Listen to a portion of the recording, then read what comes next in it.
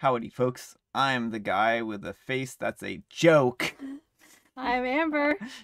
And here's some Reddit. All right. Our first letter is titled, Am I a jerk for my response after my brother in law said my dress was inappropriate for a family gathering?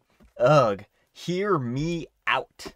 So, my brother in law, my husband's brother, was married to a woman from Greece. Her name is Nana. And the reason for the divorce was because of how much my conservative brother in law tried to control her clothes and places she went. He didn't want the divorce and was hoping Nana would accept the life he offered, but she didn't. This happened two years ago, and he now moved back with my in laws, and we've seen him more often. He tried to comment on how I dress multiple occasions, and it's unbearable. But since my in laws said that he's struggling and depressed, I let it go. On Friday, my in laws celebrated my husband's 30th birthday at their home, and I wore a heart shaped blue dress and had my hair up. While we were eating, my brother in law pointed at me and said that my cleavage was showing and that I shouldn't have worn this dress because it looked inappropriate for a family gathering. I was utterly shocked. Everyone was staring at me, and I felt so embarrassed and on the spot. He looked at me, waiting for me to blow up, probably, but I laughed at him and said, Knock, knock. And he said, Who's there? And I said, Nana. He now paused and seemed confused at the mention of the name. He then faked the laugh and said, Nana who? I said, Nana, your business, what I'm wearing. okay. he got upset and quickly left the table. My sister in laws laughed, but my husband and his parents were upset and later said that I was way out of line for bringing up Nana to my brother in law, knowing how heartbroken and depressed that he was because of her. His mom said that I was petty and that I didn't need to dig at him just to prove a point. My husband thinks that I'm wrong as well and that I was deliberately being hurtful by bringing up Nana. All right, folks, what do you think? Jerk or not the jerk? Not the jerk. I mean, I love how everyone's blaming OP here when he's the one who initiated the attacks. Right, like, and he's been doing this for two years, it Yeah. sounds like, uh, constantly, like, picking on OP's clothes. Yeah. Like, why isn't OP's husband standing up for her? Well, exactly. That's just it. Is that OP doesn't need to deal with this, and everyone is like, "Oh, well, he's just heartbroken. Just leave him alone. Let him, let him be a a mean monster, right?" Well, that's the thing is like, yes, you you can be like heartbroken and upset. That doesn't give you an excuse to be horrible to other people. Exactly. And the divorce is literally his fault for wanting to control his wife. Yeah, and now he's trying to control OP. Yeah, exactly. It just seems like he has a control problem. He just wants to control people in general, which Yeah. is really unfortunate. Yeah, I don't think OP's the jerk here because, like, OP, I think OP's clapback was kind of funny, hmm to be quite honest. I think it was probably a, a pretty hard lesson for him to take. So hopefully in the future he'll leave OP alone and keep this kind of as a reminder close to his heart that he can't push people around and expect not to get, you know, some pushback. And OP's husband needs to step up and start taking her side. Yeah, I agree. Our next story is titled, Am I the jerk for telling my boyfriend that if he wants me to wear makeup, he should learn how to apply it on me? I used to wear heavy makeup every day before the pandemic, but then I just stopped. Staying home broke me of the habit. Before that, I felt embarrassed to be seen without makeup. I had to put on a face to feel comfortable with myself. I even started getting lip filler. That changed during the pandemic. At first, by coincidence, staying home, I just started getting used to seeing my own face every day. And after a while, I realized I was happy with my own face, and when I put on makeup, I felt like I was in a costume. I also started to resent the fact that beauty standards influenced me so much that I felt like I had to be hiding my own face in the past. I threw out most of my makeup and it was expiring. I'd always used to say that I do my makeup for myself, it's my hobby, but I started looking more critically at that and how my hobby just happened to fit into standards for how a woman should look. I heard the metaphor decorating your own cage and it really resonated with me. Anyway, I met my boyfriend a year ago, well into my makeup free phase, and we stayed pretty socially isolated for a while, but just this spring we started getting more social again and going out to parties. And recently I was showing him old pictures of some outfits I thought I could work for a couple's costume for a party. He seemed kind of wowed by how I looked full face of makeup, blonde dyed hair, long extensions, lip filler, etc. He compared me to an Instagram model. I know he meant it as a compliment, but it didn't feel good to hear. He asked me if I could do my hair and makeup like that for him sometimes. I told him a lot about how I feel about my relationship with makeup, just like I did in this post and more. And I was pretty upset to hear him say afterwards that what he was asking for wasn't that deep. He didn't want me to change my whole face every day, just put in a bit of extra effort for special events. I said that to me it was deeper than that, plus, I don't think he realized how much extra effort he was asking for. So I said I'd wear makeup again on a few conditions. For the first six months, one, he buys any makeup that he wants me to wear that I don't currently own. Two, he learns how to apply it on me. There are videos on YouTube, that's how I learned. Three, he applies my makeup. I said that that way he'd understand the work behind what he was asking of me.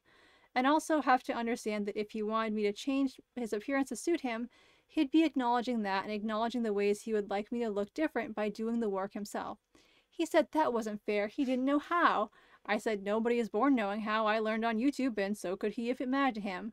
He's been kind of frustrated with me since and feels like I'm being lazy. Am I the jerk for what I said about makeup? Oh, what do you think? I'm gonna say not the jerk. Yeah, I don't think that OP's the jerk. I think that this is pretty reasonable. OP isn't asking him to go and buy all new makeup for them. He OP is just asking for him to buy any makeup that he wants in mm-hmm. addition, right?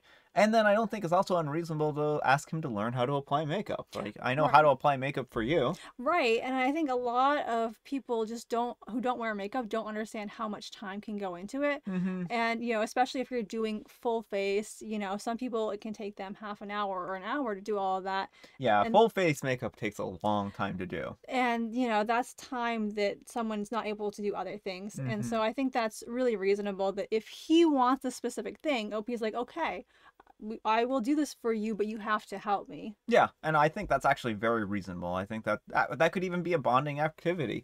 OP's not even like against this. OP's like, yeah, I mean, I'm I'm open to this as long as you're willing to help me. But he's the one who's kind of being lazy here and being like, oh, I just don't want to put the effort in. Yeah, well, like I was like, "Well, I don't know how to." And it's like, "Well, you You can learn. You learn. Like yeah, I didn't like I wasn't born knowing how to apply makeup, you Mhm. know. And I mean, I think it's a fun skill to have, anyways. I mean, I you know, I've always enjoyed doing Amber's makeup when I have had the chance. Not always. Sometimes Not it can be a very frustrating endeavor because I I'm not blink very my good. eyes a lot. I cannot keep my eyes open. Like he'll like bring like the eyeliner or mascara near my eye and like blink and stay away. She'll like blink right as I'm like applying something and then like get smeared on things and I'm like, no. I think didn't we do a, you doing my makeup video for this channel? We might have. Maybe yeah, I we did. can we can link to that if we have that. Yeah. I I remember doing one for your channel. Yeah, I think it was either I pick out the makeup You picked or... out the makeup and apply. I think you picked it out. No, And- maybe you just picked it out, but I thought you applied it. Maybe. Yeah, I don't remember. It's yeah, yeah, you did my makeup because yeah, we had Oh, to like okay, yeah. yeah. So there even is video evidence of Brian doing my makeup. Yeah. So Yeah, like I said, I don't think this one's unreasonable. I think that this would be a fun bonding experience for them to do makeup. I really do. I don't think that there's a problem here with OP's request. All right, folks, it is tea time. Make sure to grab your beverage of choice and let us know what kind of tea you're drinking today or or other beverage. I keep saying like tea specifically. I'm trying to be a tea pusher. You can only have tea at tea time.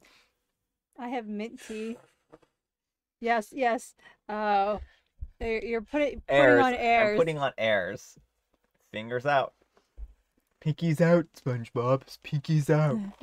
I got Wordle in three today. I have to say, and this is uh, what Mary had sent in yesterday. I love this. I'm not. I don't know if she was actually saying this is had her daughter's name this or not, but I think this is a joke. I'm pretty sure it's a joke. I was at the park with my kids. Another mom called out, "Amanda Lynn, time for lunch." I approached her and I said, "My daughter's name is Amanda Lynn. I named her so that whenever a kid came to the door asking if they could pay, play with Amanda Lynn, I hmm. asked, "Have you had lessons?" And the woman replied, I wish you hadn't told me that. oh, I love it so much. It's such a great joke. And, or, or or seriously, like if you named your kid that, that's awesome because like that's that's a great way to go. So I I enjoyed that. I enjoyed that story a lot. So thanks for sharing, Mary. and Brian has mint tea. Yeah, I have mint tea, and Amber knows this because she's a cheater again. How many days are you going to cheat, Amber? All of them. So, like, again, she made me convinced that she was telepathic today, okay? So I was like, okay, I'm gonna use telepathy. What's what is uh, what kind of tea am I drinking here, right?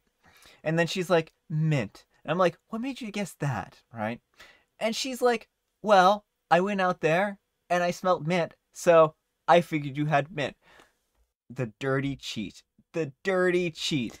Yeah, well, I wasn't even sure. I was like just walking out in the other room. I had, had forgotten that he was making a scene. he's like, like runs up to me, like waving his hand, like go, no, go, go.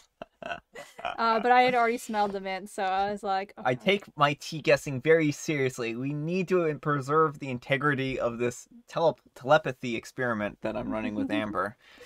Our next letter is titled, Am I a jerk for my reasons of no plus ones on my wedding, causing several people not to attend? I'm getting married, and like every other bride, I too have certain rules that I want for my wedding to go smoothly. One of them is no plus ones rule. Only people named on the invitation are invited. The criteria I have for people who will get to bring their partners are one, both me and my fiance knows of your partner and have met them. If I know of your partner and my fiance doesn't, that disqualifies them and vice versa. 2. If I'd personally go to dinner with you and your partner. 3. If I'd invite your partner as a separate person anyways and not just because they're your partner. 4. If your partner is also a friend of mine. Those who meet that criteria get to bring their partners. If they don't, then they don't get to bring them. Simple. That also excludes long term relationships, engaged couples, and married couples as well. We know it might seem harsh, but those are the rules that we've decided to set so that we can be more comfortable. It has nothing to do with budget or venue capacity, purely our choice. Several people have denied the invitation to our wedding due to these rules. One of them was my cousin. My cousin has been engaged to this girl for a year now and was upset that we didn't include her the reason why she was excluded because my fiance hasn't met her and she's not a person that I would personally be friends with either.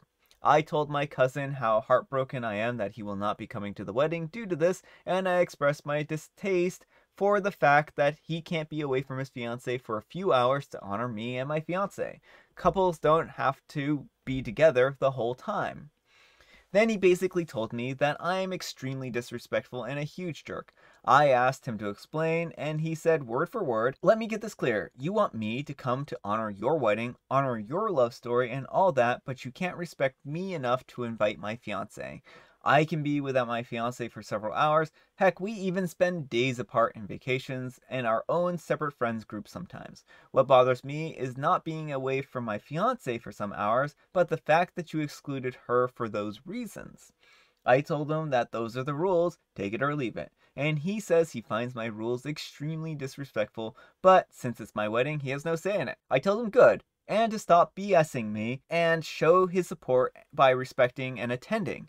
He said that while he respects my extremely exclusive and disrespectful rules, I'm a fool to believe that he will care more about valuing my wedding over his fiance. Am I the jerk? All right, folks, what do you think? Jerk or not the jerk? I'm gonna say OP's the jerk here. I think this one's kind of complicated. I don't necessarily think that. Oh, I think that OP is a jerk, but not necessarily for probably the same reasons as you.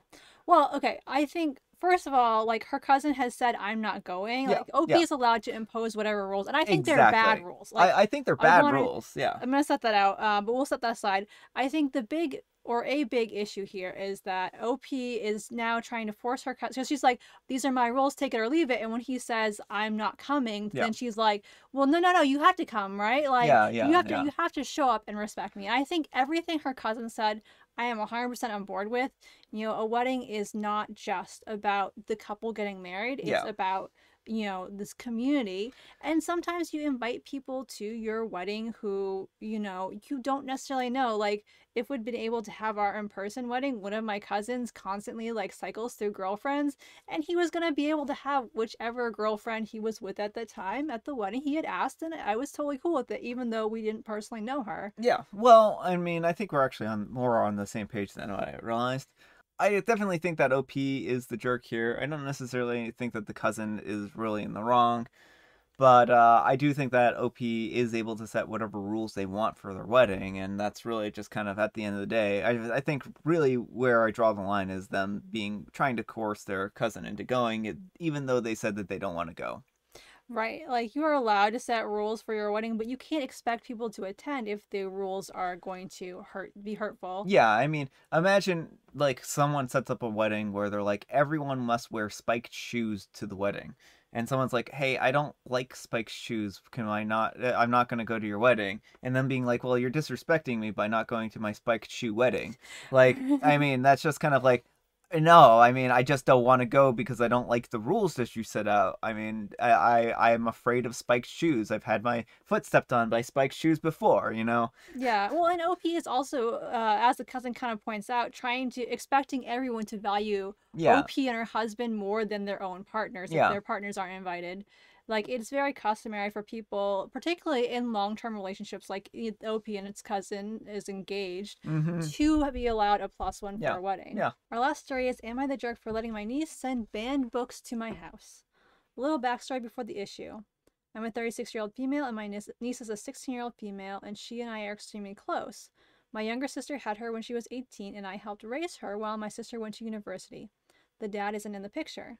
My sister married her current husband Jay a year ago. I'll admit I'm not the guy's biggest fan. He's extremely conservative, and our opinions tend to clash a bit, but my sister is happy, so I typically don't say anything. My niece is not his biggest fan and has been spending a lot more time with me. My niece loves to read, something she definitely got from me. She spends every weekend and most of the summer with me. She has her own room at my place.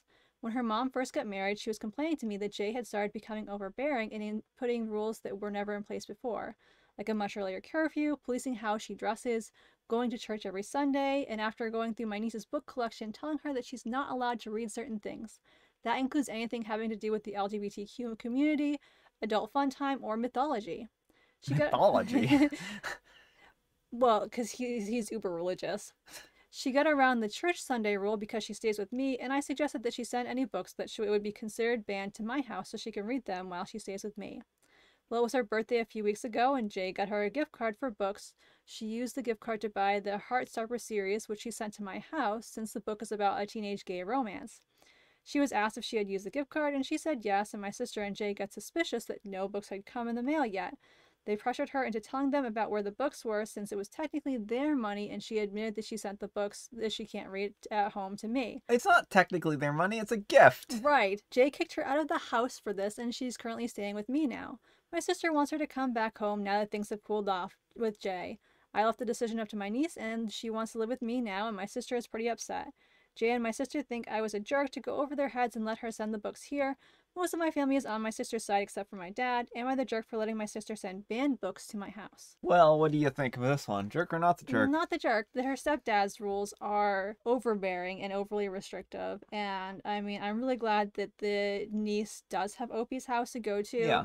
Like, to ban anything that, like, she had been raised a certain way for the first, you know, however many years of her life, and all of a sudden this guy comes in and is like, my house, my rules, and like now is policing how she dresses, Mhm. what activities she gets to do, what books she gets to read. I mean, it really bothers me anytime someone's like, "Hey, you can't read gay stuff." Like, Yeah, that's just that so doesn't not make cool. it doesn't make any sense. And then I mean, I think that you know the aunt here, OP here, I think they're just looking out for their niece, and hopefully their niece appreciates it. And uh, you know, you can't force them to go and. Well, so I technically think that if the niece is under eighteen, she is, she's 16. yeah, she's sixteen. So unless she gets emancipated, there are laws about her being home and whatnot. I don't know if like I don't know what the rules and laws are. I I, I don't know about how exactly you can go about with forcing a kid to stay at your home or not when they're under 18 like that. But I do know if you're emancipated, then you can, you know, stay wherever you want. So I think if the aunt is serious about having the niece, you know, stay there, it might be a good idea to look into emancipation just because that way the parents can't try to pull something and, you know, uh, get them to say that they're being kidnapped or something like that. So I, I think that there is some some kind of thing that OP should do here to protect themselves, but I don't know how severe the situation is. Yeah, I don't either, but it sounds like the sister just wants her daughter to come. She doesn't sound like she's like actually sending like the police after her or anything. Mhm. So, um, but I think, you know, the big question here is OP in the wrong for letting her niece uh have access to these books that her parents won't let her read. No, a public library would do the same thing. Yeah. Um, and so like I, I, I think it's great that OP's giving her niece like a safe place to read the book she wants to read and, you know, be her own person apart from her stepdad's rules. Yeah. All right, folks, that's all the time we have for today. I hope you enjoyed today's video. If you did, consider giving us a like. And if you didn't, consider giving me a dislike. Thanks so much for watching, and we'll see you all tomorrow. Bye.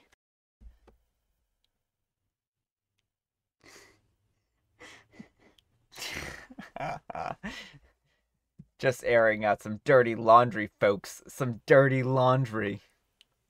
Yes, Brian was like, I have to go look up a joke, and I, at first I, I could have said something mean, but I didn't, and then I told him that I was would have said, "Are is it your face?" or something like that. I don't remember. It was silly.